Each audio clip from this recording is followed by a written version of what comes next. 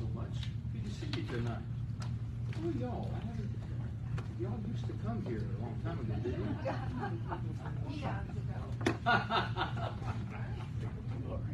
Oh, Lord Jesus. But anyway, good to see y'all back tonight. All right. Have you had a good week? Y'all do know a new week began two days ago, right? But no, actually Sunday. But anyway, I trust you have and you're doing well, and so forth and so on. All right, small talk's over, and uh, somebody bring me that sheet that's probably back there if there is one. I trust there will be one. I go get it. Uh, that's okay. I got somebody get it for me. All right. Thank you, though, Jenna. We're gonna let the lame get it. Nehemiah chapter 2 in your Bible tonight, if you have them. We are entering a new heart, a new EKG, as we're doing a series entitled God's Spiritual EKGs and uh, looking at different individuals' hearts in the Bible and uh, how they were, what kind of hearts they had. And uh, tonight we look at another new one. We finished, uh, we just finish? Oh, Solomon. night. Solomon, yeah, you're right. Yeah, because it depressed me last week reading about all the women and Yeah. trying to, in my mind, figure, God, wait a minute, why, how did you allow all of this? But anyway, Nehemiah chapter 2, beginning in verse 1, going just till to verse 2, and the Bible says it came to pass in the month of Nisan, uh, in the 20th year of Artaxerxes the king, that wine was before him. And I took up the wine and gave it unto the king. Now I had not been before time sad in his presence. Wherefore the king said unto me, Why is thy countenance sad, seeing thou art not sick? This is nothing else but sorrow of heart. Then I was very sore afraid. We're introduced to a new heart tonight, found in verse 2. And tonight I just bring to you the sorrowful heart. And of course, Nehemiah is the individual that had a heart that was heavy enough to actually cause it to affect his countenance. And uh, so he had a heavy load. He was carrying a heavy burden. And we'll see what that burden is before we finish this message. Let's pray. Our Heavenly Father, again, we come before you. We're so grateful to you for another day, another opportunity to serve, another opportunity to hopefully be a blessing to someone. And uh, some we emailed today, some phone calls made, and Lord, uh, we just want to serve you. We want to be the best we can be for you. Deserve our very all as well as our best.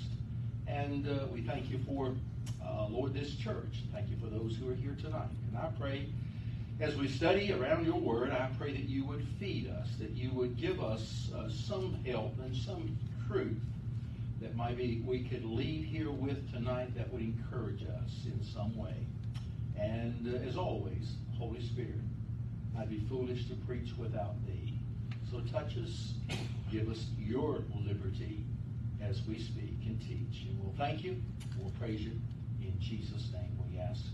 And all of God's church and people said, Dr. W. W. Landrum made a statement in a book, and this is what he said. A Christian should have a heart 20, listen to this, 25,000 miles in circumference. Anybody get that? Anybody get circumference? Think about that. What is he saying? He's saying if anybody has big hearts, and I'm talking about in every way, the Christian and the Christian life ought to possess a super big heart. We ought to be big hearted toward people, should we not? We ought to love people. Do you love people? Well, a few of you do out there tonight, but most of you didn't. But anyway, but uh, but we ought to care enough to where our hearts are large. We have the capacity to love. Why? Because He's in them. And when you got Jesus inside you, and you do through the Holy Spirit, uh, the Bible tells in the book of Romans that He, through the Holy Spirit, has shed His love through us unto others. So it's not about you, it's about the Holy Spirit in you that can love anyone regardless of who they are, and by the way, whatever they may be guilty of doing against you. And we need to understand that. So I, I concur with W. W. Landrum in the statement that he made. So tonight we're going to find someone with a super big heart. So much the so that because of the news that he hears, it affected his heart to such a degree that even those that aren't even saved could tell there was something wrong with him. Anybody here ever notice uh, people's countenance? My wife knows me pretty good. She'll see when I'm sometimes down, and I don't get down a whole lot, trust me. But uh, I do, and I've had my moments. But anybody, anybody here get down? You know what I'm talking about? Enough to where it can affect your. I'll tell you what. I told you Sunday. Man, reading and studying this past sermon I did last Sunday bothered me. Oh, got a hold of me. Uh, and in fact, we were with Harold and Ann last night, and uh, as we were talking, he texted me, actually called me today, and I couldn't take the call.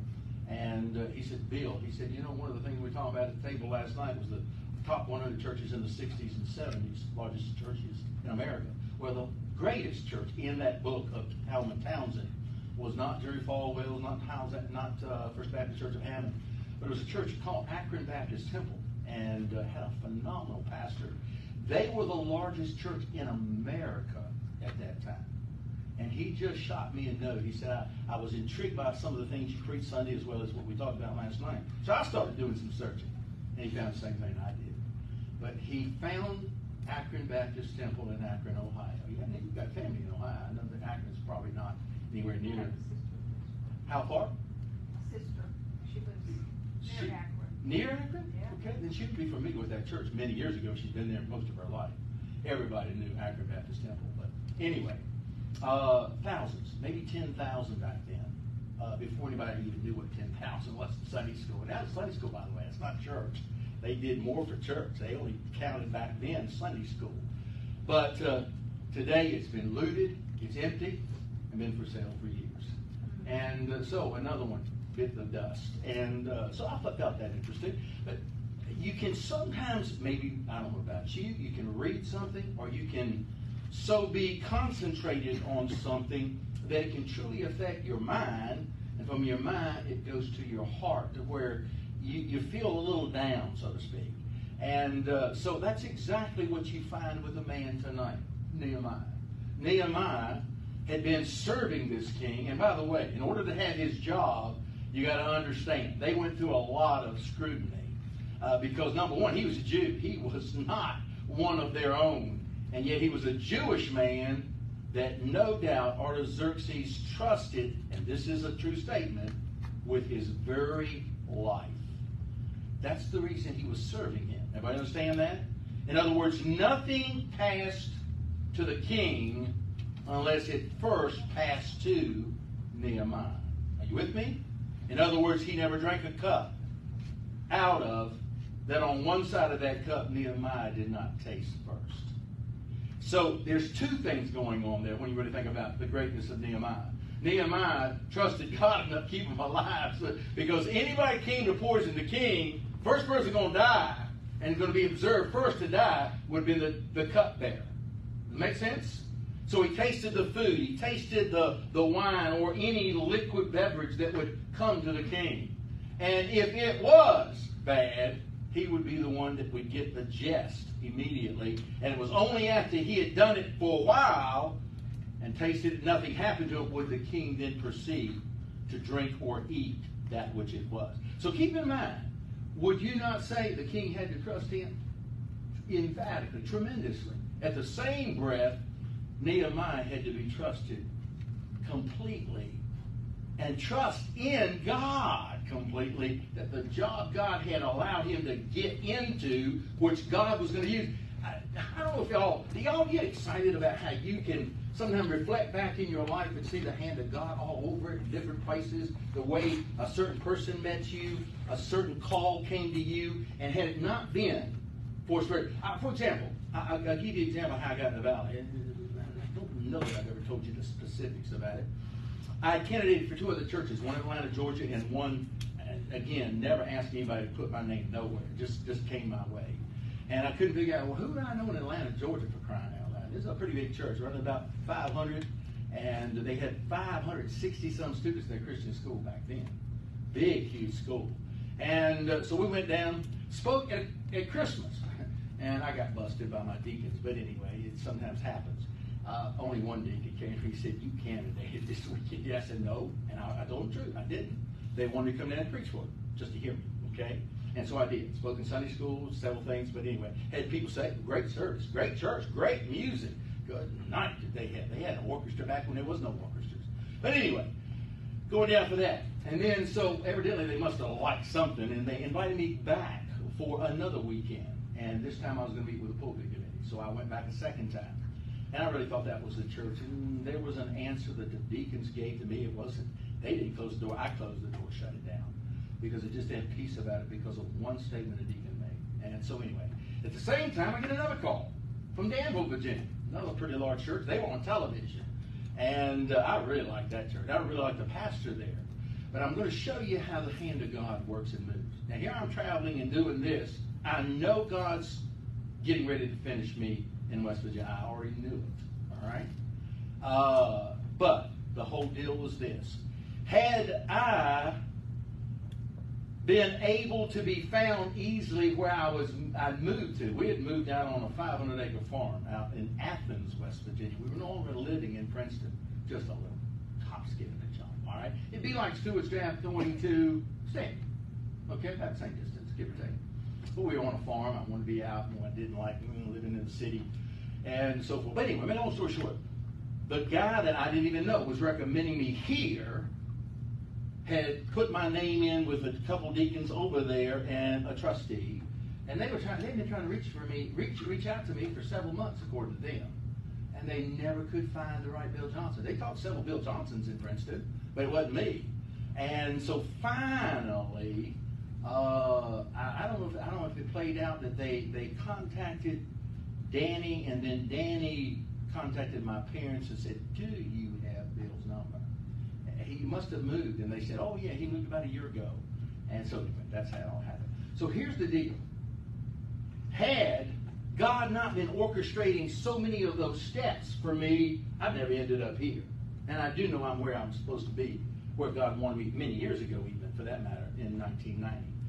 And I, I stand amazed. I don't know about if y'all are that way. I mean, I know I'm and trying to move in the will of God. Y'all may not be in the same depth uh, uh, that I would be being a preacher to make sure I take the right church. But uh, it's it's amazing to me. Think about Nehemiah. How did he get where he was? Who do you think placed him there for crying out loud? See, when we read our Bibles, we don't think about some of these kinds of things. God placed him there, exactly where it needed to be. Let me ask you a second question. Do you think it was an accident and just, oh, it just happened? That he had just got the worst report about Jerusalem any man could have heard. Why was he sad? He wasn't sick. He wasn't sad because he was going through trouble, turmoil. It had nothing to do about him. It had to do about God and God's people and God's particular city, Jerusalem. Think about it. Everybody, everybody getting what I'm saying? Do you not see how God orchestrated every minute detail? So that he could be exactly where. Hey, did he not do it throughout the Bible? Esther. Esther, she won the beauty pageant for crying out loud. That's exactly what was, that's how she got where she was. Think about it. And for such a time as this, she said, she knew God planted her there. God placed her there. God put her there. Don't that excite you? Sometimes different people that you meet and you can reflect and say, hey, I'd have never married my wife had not been for that. Okay? Had she not came home one weekend, one homecoming day, I'd never met that girl right there. Never. That's the first time I'd seen her in church.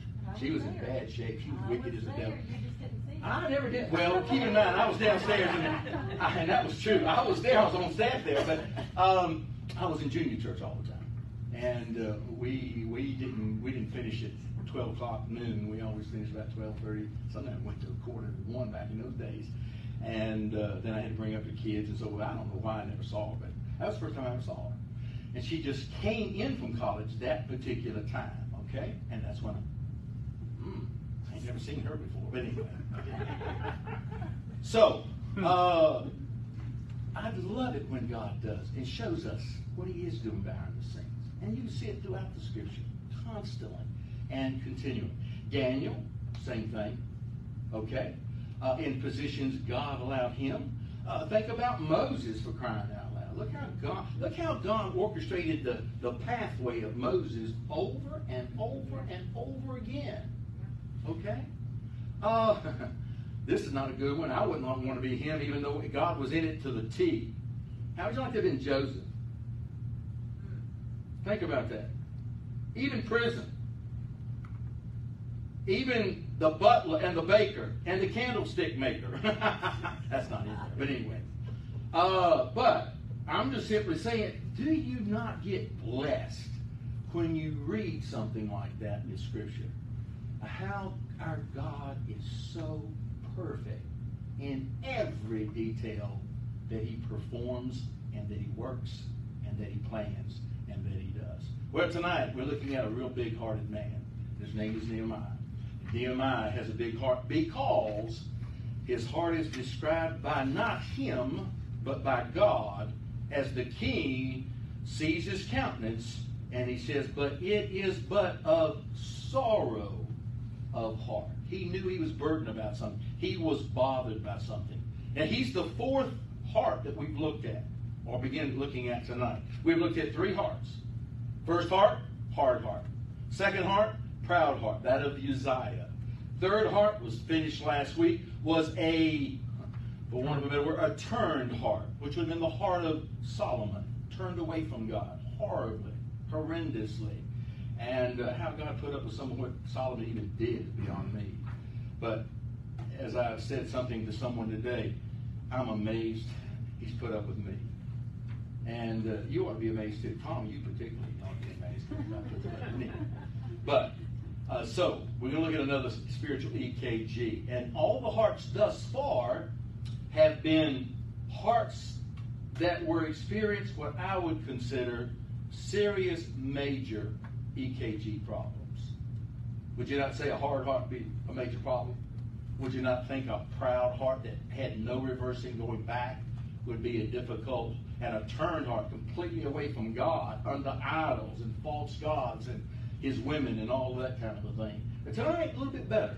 Tonight, it's kind of hard. I would, to God I could maintain and have, even though it would not be easy. And that's kind of hard Nehemiah had. Kind of hard did he have? He had a sorrowful heart. Why? Because he had a burden, an extreme burden for his people and for a city called Jerusalem. And uh, we ought to have, we ought to want to have this kind of a heart tonight. Amen? A sorrowful heart. All of us need to have that kind of heart. Uh, I don't know that I would want another week like last week studying the, the messages and reading the testimonies of these pastors out of the ministry today, one after the other. And, and, and they're just disbelieving God completely. Uh, the title that they gave themselves, what did I tell you Sunday? They're called uh, agnostic atheists. So I did some research this week on that term to, to know that I, what I'm talking about when I deal with it. But uh, I now know. They, they say we don't believe there is a God, but because of our experience and because of where we came from, there just might be one. Basically, what they mean. It's sort of stupid and dumb, isn't it?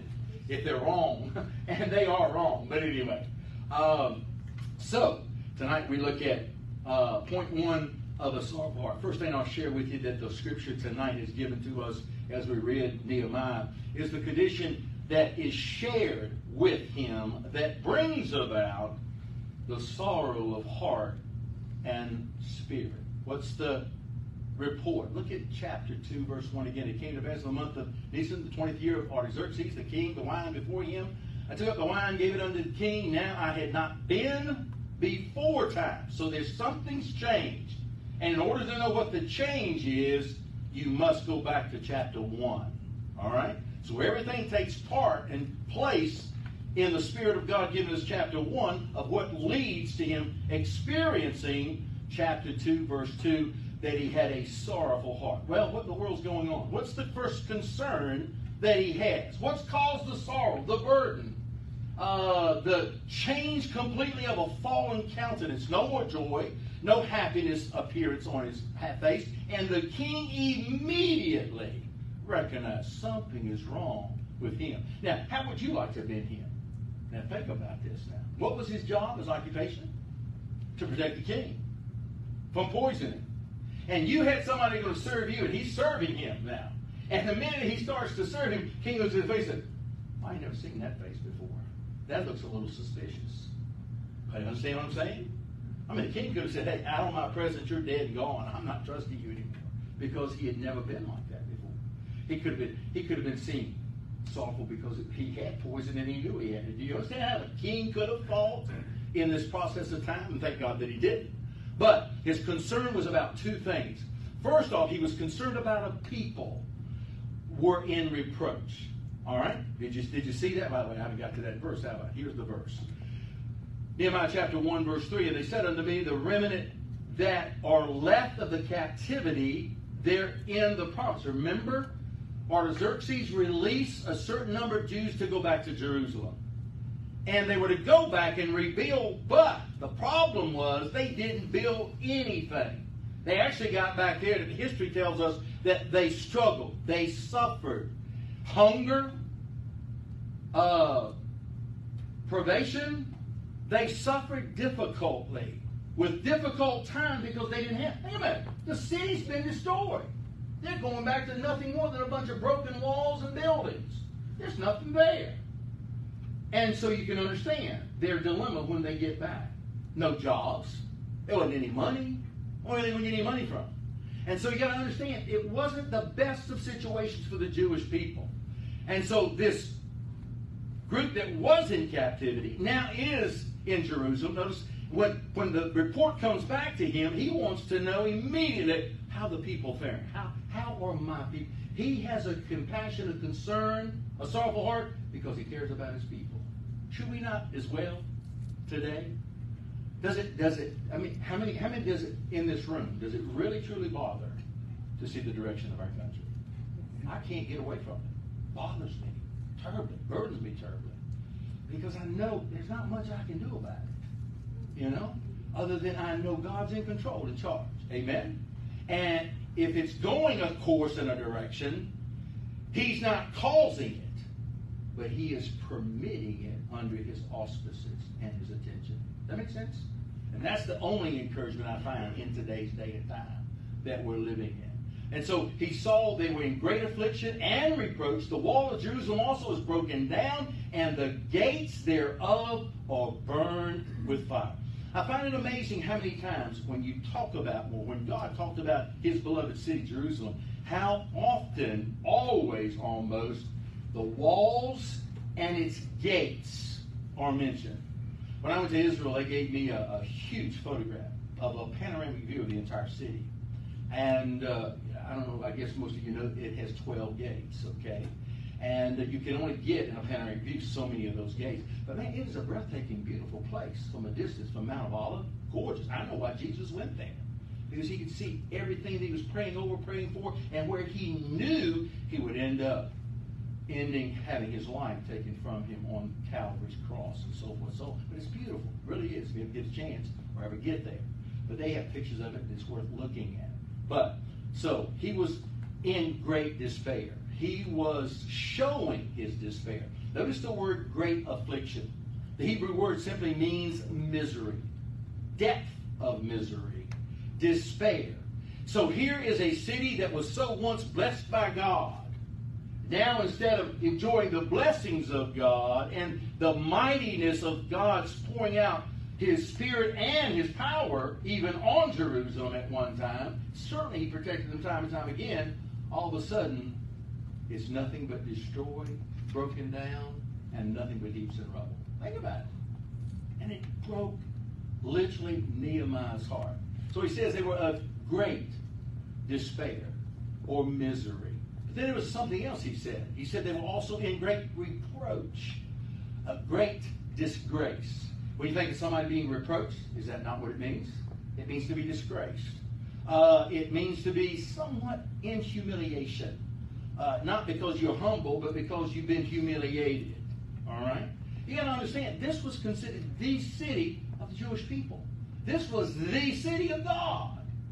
Songs write about the city of God. Are you with me? Not talking always about the New Jerusalem, even though he does have some songs about it. He's talking about the old Jerusalem. It was a beloved city. It was God's choosing, God's place. And everything tied with it was about that. And so here, people that had plenty at one time, before captivity, before Babylon conquered them, now are in absolute abject poverty. Think about that. It's shocking. Suppose that happen in America, and it one day will. Someday. Uh, maybe not in our day. But think about the shock, you know, or the horror. People who have been accustomed to buying anything, going to any grocery store and having umpteen steaks in all the, the, the meat counters. I mean, you realize that the way we shop and the what we have in America is not typically true of a lot of cities around the globe and around the world. Uh, that was one of the things that marveled us when we used to have the uh, the singers, Art. art singers. I couldn't think of their name. I was thinking I don't think of their country, and uh, and they would go in a grocery store or shoe shops. When they when they first went in a shoe shop with Harold down in Lynchburg, Virginia, because Harold was going to buy them all shoes. When they first when he took them in to buy a pair of shoes for each one of them, they just were mesmerized. They were shocked. They had never seen anything like. I'm, I'm serious. And you got to understand, these guys live in a big city. Their houses and their homes and their church is in a fairly large city that's been completely eradicated, by the way, uh, where they live. Okay? Because in Russia, you don't have those kinds of things.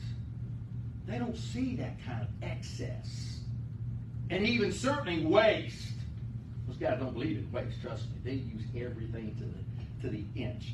We, we, we've grown up, I hate to say this, but we are. We're all sorry brats. Because we've got everything. And we don't even appreciate what we sometimes have. Think about it. Do we not? Is anybody here go down here food line going to find all the shelves empty? Or even one place half full? No, you don't. Now, it may come one day, but we are so spoiled. Okay? And uh, it's sort of sad that we have become the nation of being spoiled rotten to a certain degree. But anyway. So you got to understand, when you read your Bible and you hear that they were in total reproach, what does that mean? It means other people outside, even their enemies, felt sorry for them. Well, they had squat. They didn't have anything. And so Nehemiah is putting it all together in his mind, and, and God, the Holy Spirit, then would come on him, not in him, would, would got him so burdened, so burdened down, that it affected his countenance horribly before the king. But can I tell you, again, the timing, isn't it interesting? He just gets word just before going into the presence of the king. And through the countenance change that broke his heart is what led to him going back, literally, and rebuilding the walls. Check it out. It's exactly how it happened. Suppose if he had never had a changed countenance. Suppose if God had never burdened his heart and he was insensitive about his people, insensitive of the condition and the state of Jerusalem. What then? I don't know. The Bible doesn't tell us. But he was moved.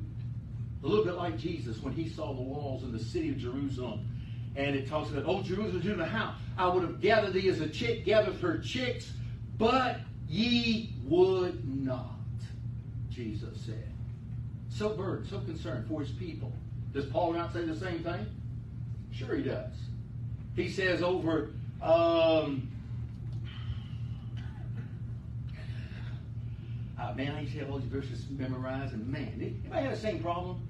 I, I, I forget the address, uh, the addresses. I still remember the scripture, which is the most important part, but I forget sometimes the address. You know what I'm talking about? The, the chapter, verse, and that kind of thing.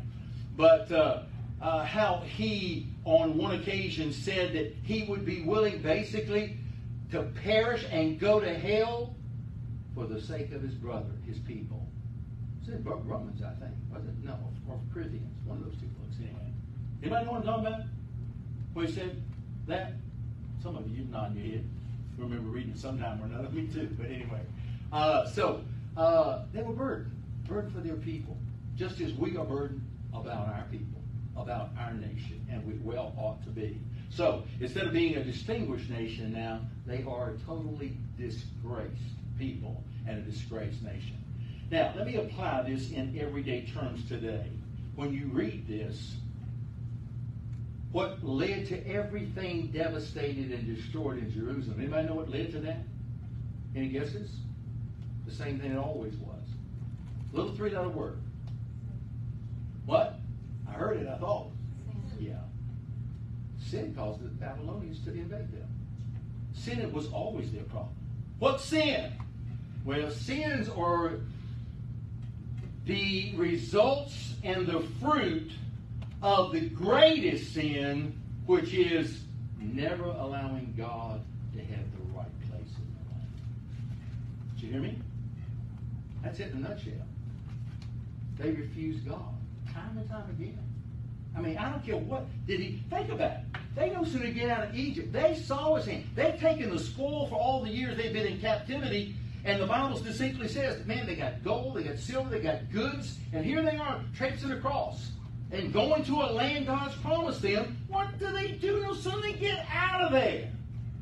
Think of what did they do? They made false gods. Remember the calf? They were really ready to turn. When they had any pain, sorrow, any problem, any difficulty on their journey, did they not always question God and fuss about Moses? Had you not done this, had God not led you to do this, we'd be a lot better eating leeks, onions, and all the other garbage that they said they ate back then. All right? You didn't have to see a Jew coming; you could smell them down a mile, a mile away.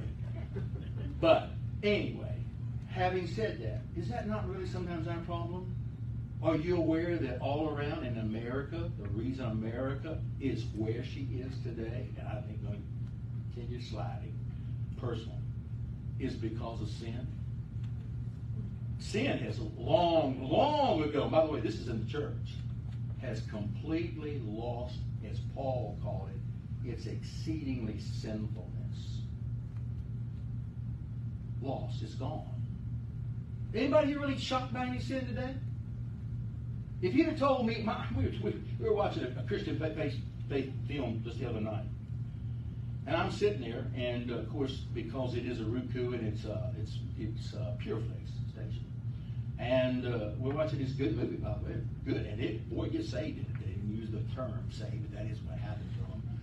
Uh, they just said, "Oh, I prayed," and got changed. But anyway, and that is what happened. But anyway, here I'm watching this movie, great, involved in it.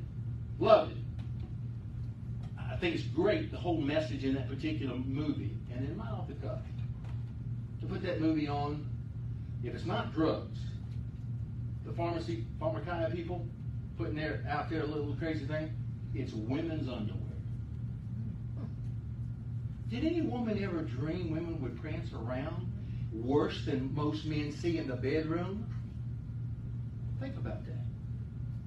I mean, I can't believe it. And then they, then they, then they got the depends one. Have you seen the depends one? I'm sitting there. Who wants to see this garbage? Why in the world? But you see, because nobody really has bucked it, and they really don't. Just like movies. Why, why do you think movies got raunchier and raunchier? Because they sold, people continue to buy and go, give them their money, and nobody had a revolt. Liquor got in Decatur because only a handful of us preachers fought it. And the majority of churches, sad to say, then even, wanted it. Jill told me Sunday after church, long time after church, pretty well, pretty while after church. She said, "You know what you're preaching today?" She said, "Let me tell you about a preacher in town." And I happen to know who she's talking about. Don't know him personally. Uh, and it's a Baptist church. Said, "Hey, uh, just found out, I guess, a few weeks ago. I think is what you told me. Some of her cohorts are they cohorts of the past or present? You don't run around with people that would be in a place doing what they were doing, right? You wouldn't, would you? They, they were eating. Oh, that's right. It was a bar. It was the, it was getting drinks in the, in the restaurant. Okay. Pastor and family in it, drinking. And he's in a pretty good sized church in town, by the way. Okay? I'm telling you, it's everywhere. Blows my ever loving mind. And here's what blows my mind even more: that nobody inside churches says a thing, cares. Does that make sense? They gotta know that. I mean, it's public facility. If if the if I'm not saying they're ungodly, I don't know who told you, and nor do I care. But if those people who came to her with that, you know, and because she's a Christian and they're not, they're, they're throwing dirt or whatever, I don't know the purpose of the motive, don't really care. But you got to understand, does do you not see that hurting all of us? Yeah. That hurts. That hurts me. Yeah. So that when I go to witness to people like that, hey, hey, know, wait a minute, preacher, you ain't no better than I am. I, I know a preacher that drinks. Uh, he drinks with us, or he comes to the same bar, or the same tavern, or same restaurant I get my cocktails from. You understand what I'm saying? And it's everywhere. When I do mean everywhere. Are preachers that are loose in their preaching and their tongues when they preach and say certainly things that have no place in a pulpit. But here's what I was preaching on. Why, why is all this happening? And why is it more rapidly declining? Because sin is no longer sin. It's excused. It's tolerated. And, and the way they do it is gradually, isn't it? Isn't that how homosexuality came into America? Sure did. I remember the first time I saw two men living together on TV. Odd couple. Remember that? I said, that just ain't right. Two men living in the same roof together? And, I, and I'm not saying I thought of that, but I thought, man, I don't want to live with no man anytime, any place. Okay? So it's it's a gradual thing. So that's exactly what the problem was with the city of Jerusalem and why the people were suffering. By the way, anytime you or I or anybody thinks they can live without God or walks away from God, it'll always cost us something. And did it cost the people of Jerusalem? Sure it did. They ended up going into seven year captivity. Okay? Every time you turn around, weren't they in captivity? Only time they haven't been in captivity or bondage to someone or another was May 14, 1948. That's when it stopped.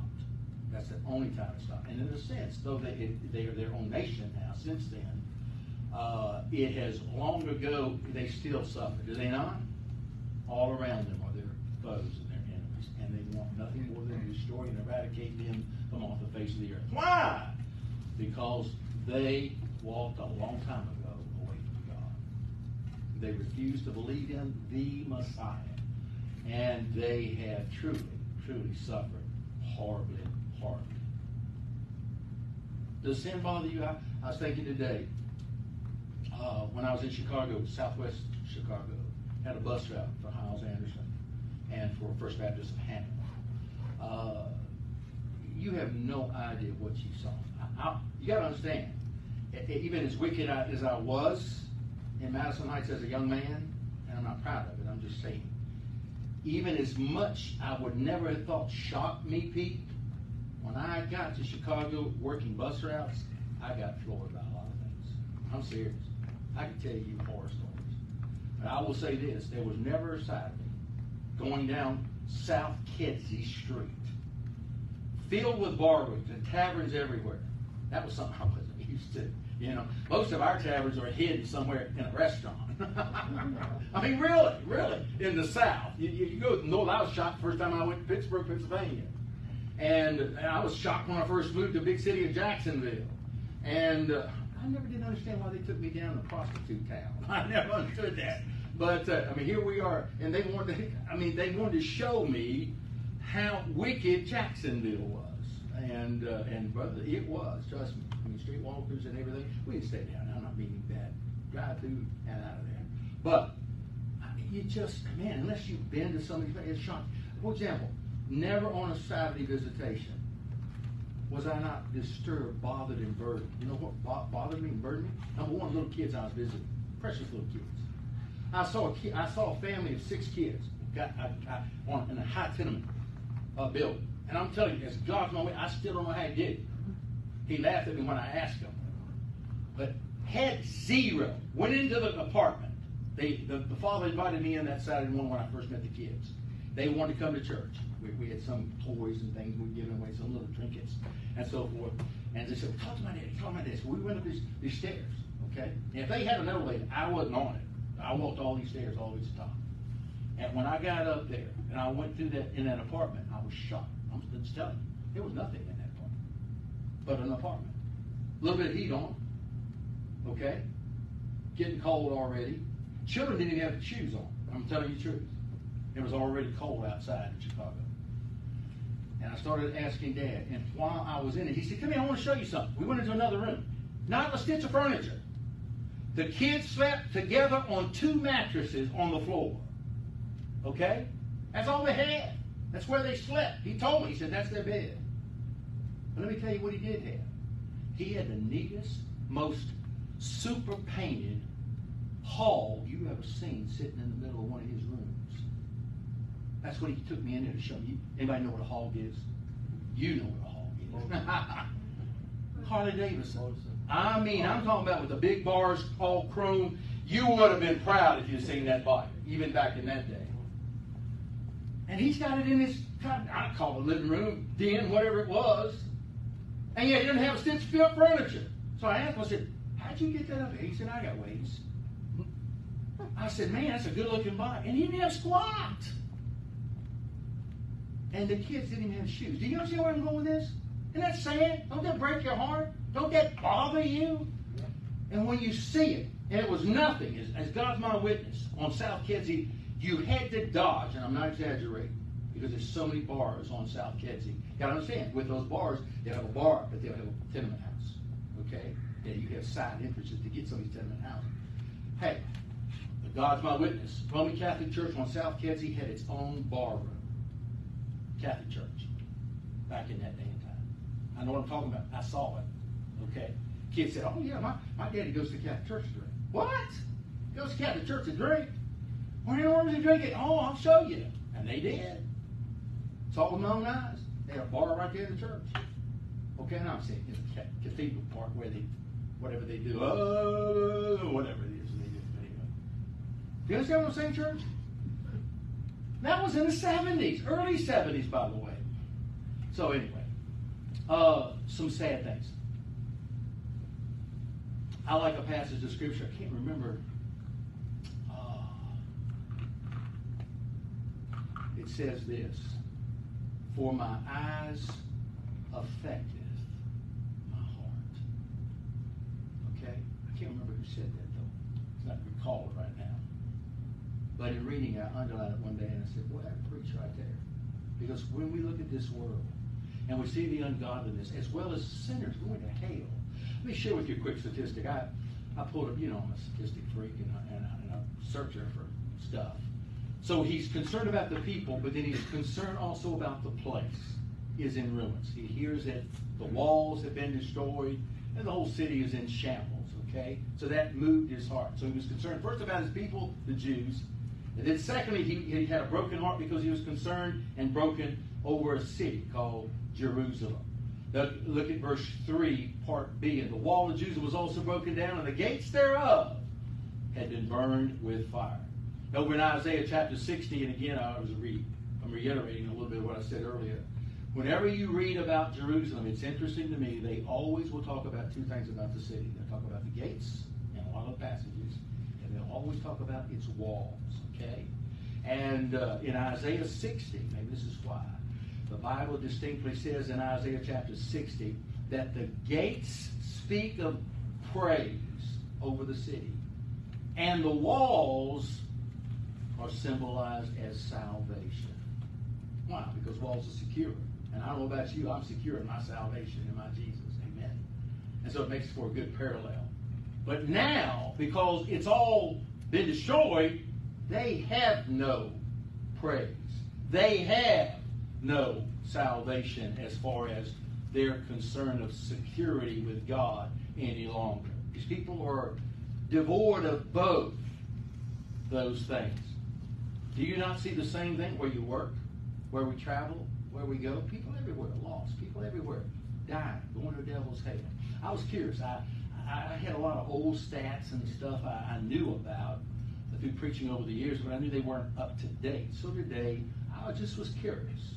How many people die a day? All right? And uh, so I, I, I did a search. And on my search, this is what I discovered. In 2023, recorded in the world, 61 million people died. Okay? Over 61 million people died. That's a lot of people. Would you not agree? And many did come from America, but many came from India, China, and so forth. Now here's, the, here, here's where I'm going. With 61 million deaths around the globe, and by the way, we are not gaining any ground in missions anymore. During the 60s, 70s, Pete, I know for a fact, we were gaining get ground in reaching people. But the world is growing at a faster pace than the church today is evangelizing them. Okay? 60 million people died, and that's around the globe. Think about China. Not that many Christians there. They have Christians. But out of that, how many percentage may have went to hell? Many who maybe never one time had an absolute, real clear presentation of the gospel. Now, 61 million calculates out, if you divide it by 365 days, to let you know, I do know how to do some math, not much, but a little bit. That comes to a total of 167,123 people perish and go majority wise to hell. Think about that. A lot of people, a of souls. So while I was doing that, I got another thing into my brain. And I thought, let me, let me, let me look up uh, a fairly large city closest to us. Not the, I couldn't find any stats on Waynesboro Stevens. I tried, but I couldn't find it. But I did find one that all of us know about. And you try, you traveled through there many times. All of us had the uh, 181 through the, through the Roanoke Valley.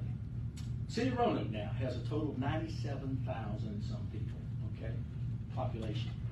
So while I thought about the population, I want to know, well, that's, it's grown over the years, because I remember when it was probably like Lynchburg. Lynchburg was in the 40s, and they were in the 60s back in my day when I was running around, and probably when Diane was student teaching at one of the schools there. But out of 97,000, get this, I looked up this statistic out of curiosity, and it's the only city I could find that gave me these stats. And they are this. How many churches do you think's in Roanoke? Just the city limits, not outside, doesn't count the county. This is strictly the city of Roanoke and how it takes in. How many churches would you think in that area? Actually, according to online, 500 churches. That's a lot of churches. Can I tell you how much so? In other words, if all those churches could get the entire town in church, each church would only have 194 people. You understand what I'm saying? Me, that mesmerizes me. That's that's something I I'm interested in these kinds of things. What does it mean? They, there are enough churches there, but we don't have the right kind to really impact the city of. You know, probably.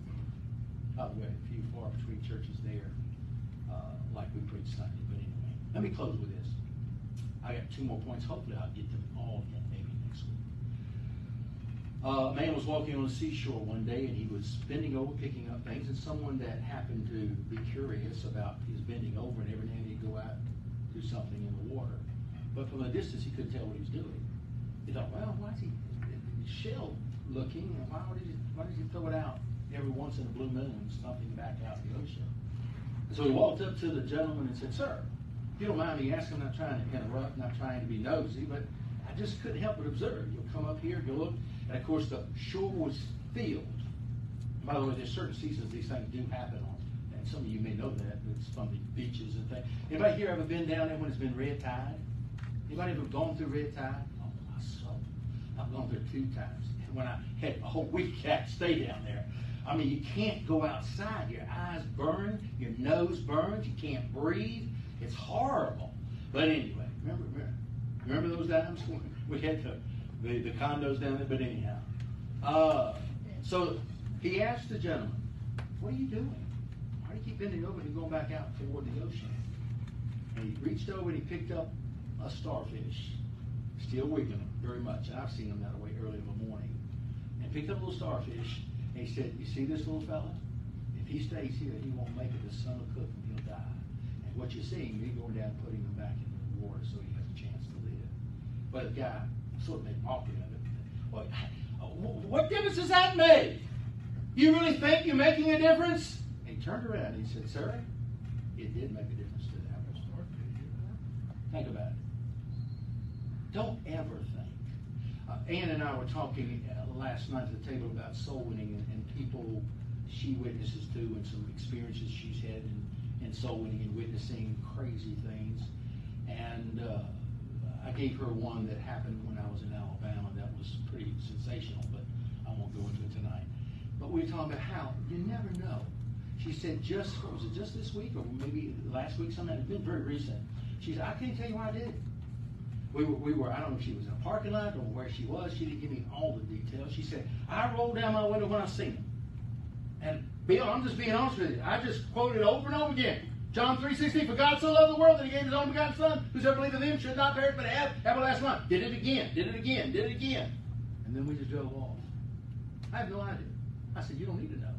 If you felt impressed to do that, it probably was a God thing.